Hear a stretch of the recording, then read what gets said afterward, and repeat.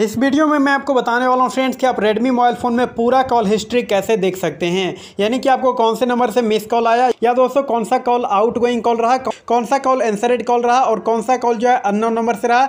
तो आप ये सारी डिटेल अपने कॉल हिस्ट्री में कैसे देख सकते हैं, इस वीडियो में मैं आपको दिखाने वाला हूँ। तो चलिए, ज़्यादा समय ना लेते हुए वीडियो को स्टार्ट करते हैं। बट उससे पहले अगर अभी तक आपने हमारे चैनल को सब्सक्राइब नहीं किया है तो इस चैनल को सब्सक्राइब करिएगा और पास वाले नोटिफिकेशन बेल को दबाकर ऑल के ऑप्शन पर ज़रूर क्लिक कर दीजिएगा। चलिए वीडियो स्टार्ट करते हैं। तो इसके लिए आपको अपने रेडमी मोबाइल फ़ोन के कॉल डायलर में चले जाना है। उसके बाद फ्रेंड्स आपने जितने भी नंबर को कॉल किया होगा, या जितने नंबर से भी कॉल आया होगा तो दोस्तों, उसका आपको यहाँ पर ये एक हिस्ट्री यानी कि डिटेल देखने को मिल जाएगा।